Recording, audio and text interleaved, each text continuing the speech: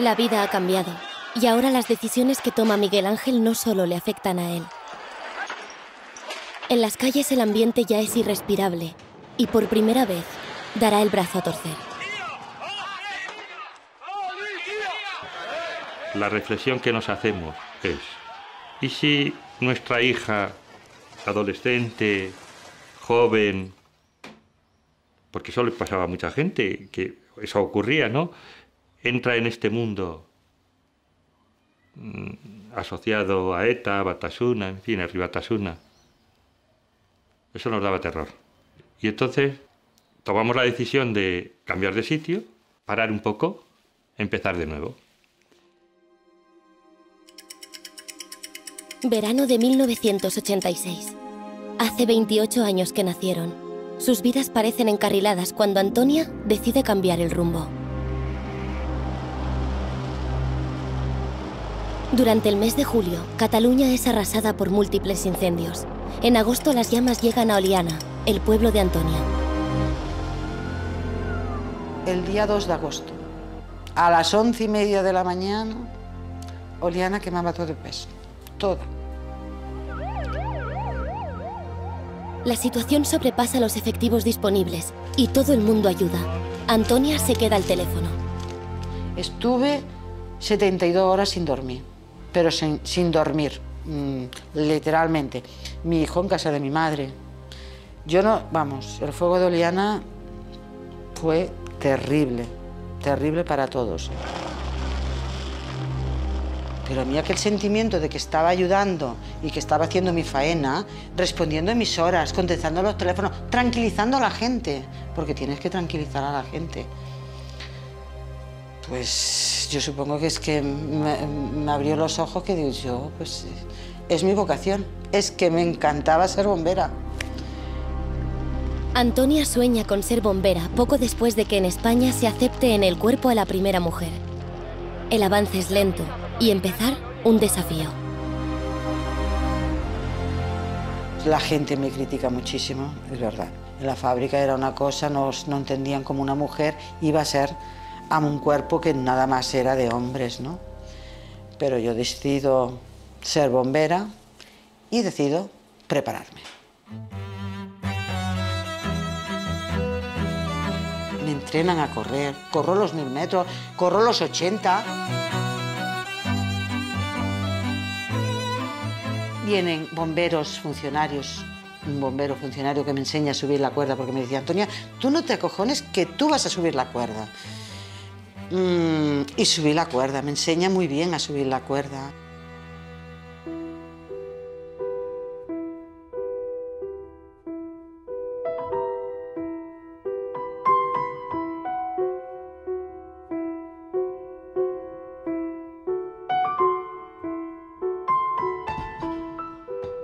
Los 50 kilos no los levanto. No podía. Entonces no estaba discriminado como ahora. Era 50 los hombres, 50 las mujeres. Y entonces yo no, no puedo pasar esta prueba.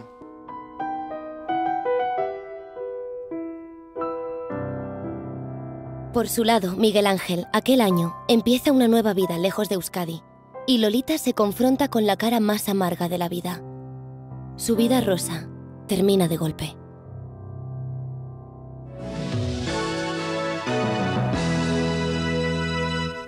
Hola, muy buenas noches. La muerte de Lola Flores, conocida a primera hora de esta mañana, ha polarizado sin duda la actualidad española. Para el mundo murió Lola Flores, para mí era mi madre. En ese momento em, yo no pensé en Lola Flores, pensé en Dolores Flores Ruiz, que se me iba, que era mi madre, a la que llamaba todos los días y con la que hablaba, con la que me reía, con la que me consolaba cuando estaba triste. Mi madre.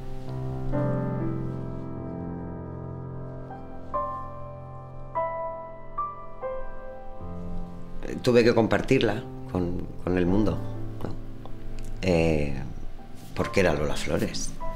Pero la que me falta es la del sofá, la de la cama, la de la cocina. Esa es la que me falta. A Lola Flores la tengo, cuando quiera.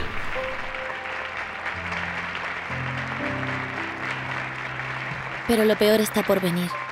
El hermano de Lolita, Antonio, muere pocos días después. Muy apegado a la madre, no puede superar su pérdida.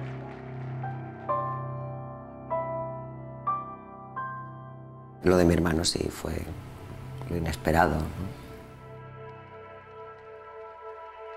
Fue un momento de rabia, de locura, de, pena, de ira, de, de no entender muchas cosas. Y, sales, eh, te, sale, pues yo qué sé, el bicho ¿no? que tienes dentro.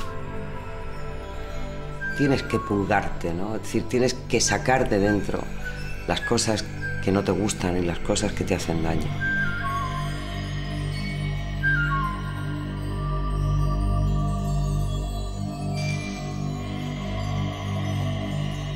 O las tienes que escribir, o las tienes que gritar, o las tienes que decir, o las tienes que cantar, o a base de llorar, o de chillar. Yo lo he hecho muchas veces, de meter las manos por las puertas y ese tipo de cosas, de dar patadas a las sillas.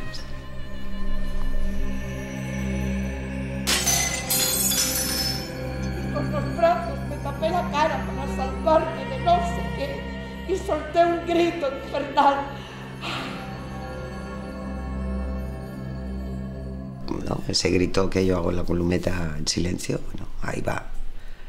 Cada vez que yo grito en la columeta se dan muchas cosas.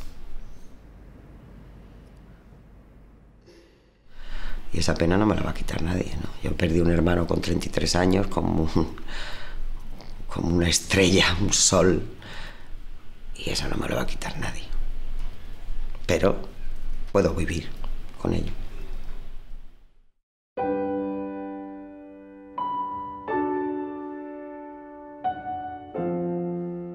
Volver a empezar en un sitio, en una casa nueva, en un escenario nuevo, yo diría incluso que hasta oxigenó nuestra relación de pareja, es decir, era todo nuevo y era, era todo ilusión.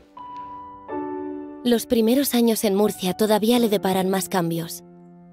Esas navidades se abre un atisbo de esperanza para su problema de audición. Desde niño ha soñado en cómo sonaría el mundo y ahora, por primera vez, tiene la posibilidad de operarse. Después de pasar por manos de unos, de otros, de otros, un montaje tremendamente hecho, me dice el, médico jefe, por así decirlo, a ver si juego a la lotería.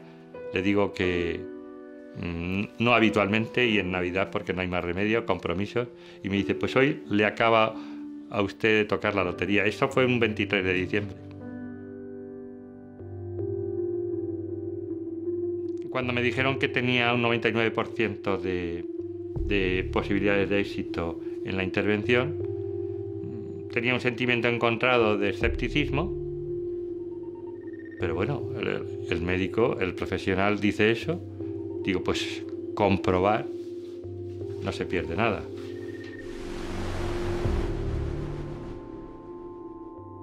Esto fue un momento como si, bueno, como si fuera hoy, incluso recuerdo el propio momento de la intervención de cuando me meten la prótesis y hace clac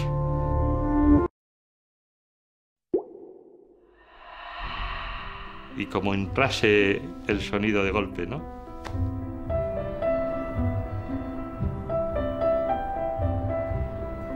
Recuperé no solamente la audición, es decir, oigo mejor, por supuesto, sino muchas sensaciones que no tenía, porque nunca las había tenido. Oír los pájaros, las campanas a veces hasta exageradamente. oír incluso hasta los mosquitos. Eh, el ruido de los mosquitos que nunca había oído. Mi falta de audición sí me aisló del mundo exterior. Esto ya se acabó. Eh, mi conexión con el mundo exterior es total. Pero bueno, encima soy como soy. Y eso también se debe a mis problemas previos y a lo que tuve que pelear para conseguirlo. Antonia también logra su objetivo. Todavía no hay pruebas para mujeres, pero finalmente entra en una escala especial del Cuerpo de Bomberos Voluntarios. Su madre le enseñó a cuidar la casa. En el cole aprendió sus labores y ahora, por primera vez, se ha formado en algo que le gusta de verdad. Yo abrí los ojos, vi otro mundo fuera de esto, pero otro mundo que no era fábrica, que no era monótono. Y dije que se había acabado fábrica, ya no quería más fábrica. Me fui y no he vuelto a entrar.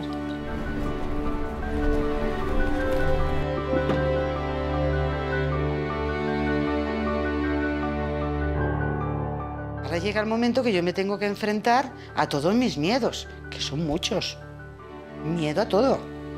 A que te hagas daño, a que sufra la gente, a accidentes, a muertos.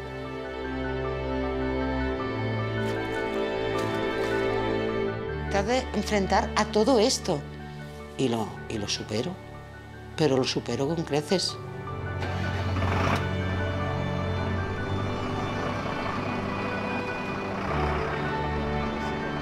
Yo vi en bomberos una cosa que me llenaba. Al realizar esta faena de ayudar a la gente y en el momento que me necesitan estar en el sitio, eso a mí me ha llenado, pero muchísimo.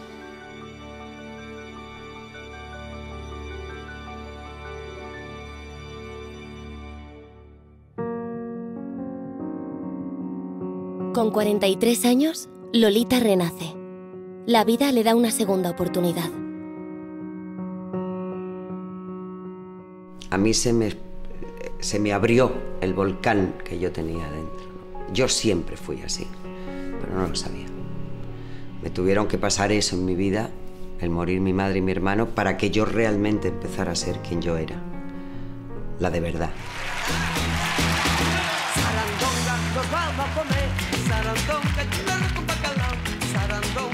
Lolita se redibuja. Ahora es más fuerte y más sabia. Vuelve a los escenarios con la fortaleza de ser la artista que ella ha elegido ser. Decidí romper con todo y, y ser yo, por dentro y por fuera. Y ahí empezó otra vez Lolita Flores. Ahí empezó, ahí nació Lolita Flores ya no era, seguía siendo la hija de Lola Flores, pero ya la gente me miraba desde otro punto de vista. El Goya a la actriz revelación es para Dolores González Flores, Lolita por Rencor.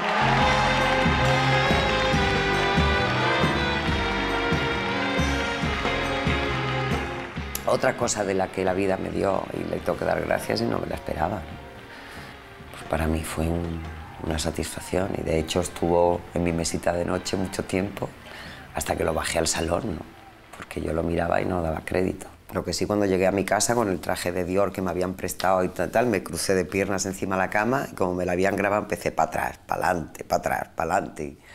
Me dieron como las 4 de la mañana, para atrás, para adelante, porque no me lo creía, ¿no?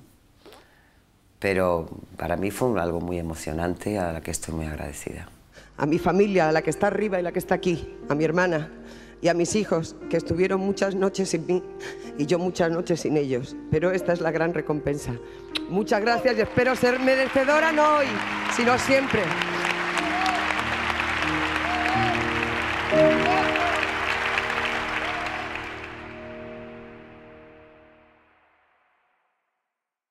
Todo tiene un inicio. Una maternidad una fecha de nacimiento y después sigue todo lo demás. Todas las victorias, todas las derrotas, todas las elecciones que hacemos sin saber a dónde nos llevarán. ¿En qué nos hemos convertido? ¿Hasta dónde hemos llegado?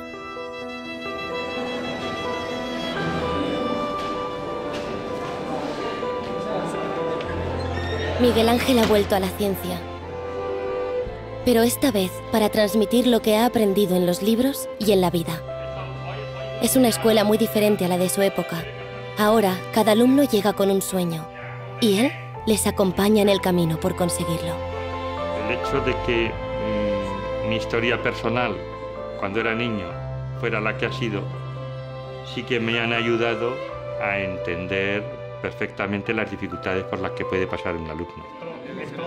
Un poco 8, esto sea 30 grados. Si yo creo que hay que trabajar para ser feliz, intentaré que mis alumnos consigan competencias que les permita ser felices. Ya sabéis, ¿no?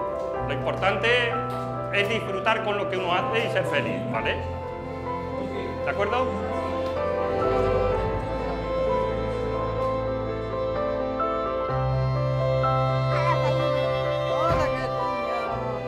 Yo hoy en día lo que le digo a mis nietos es que en la vida se ha de trabajar. Lo mismo que me han, me han inculcado a mí desde pequeña, que para tener algo tienes que ganártelo, pero tiene que ir a por sus ilusiones. Mi sueño se ha hecho realidad y me siento muy orgullosa. Siempre viajan conmigo. Ellos van donde yo voy, mi familia, mi motor, ¿no? mi pilar. Eh, la familia no elige, es la que me ha tocado y yo estoy encantada de tenerlos conmigo. No sabemos el tiempo que vamos a estar. Y esto es un paseo, como decía mi madre, la vida es un paseo en un coche de caballos. Entonces, lo que me queda por vivir, como la canción de Rosario, lo que me quede por vivir tengo que vivirlo de la mejor manera posible.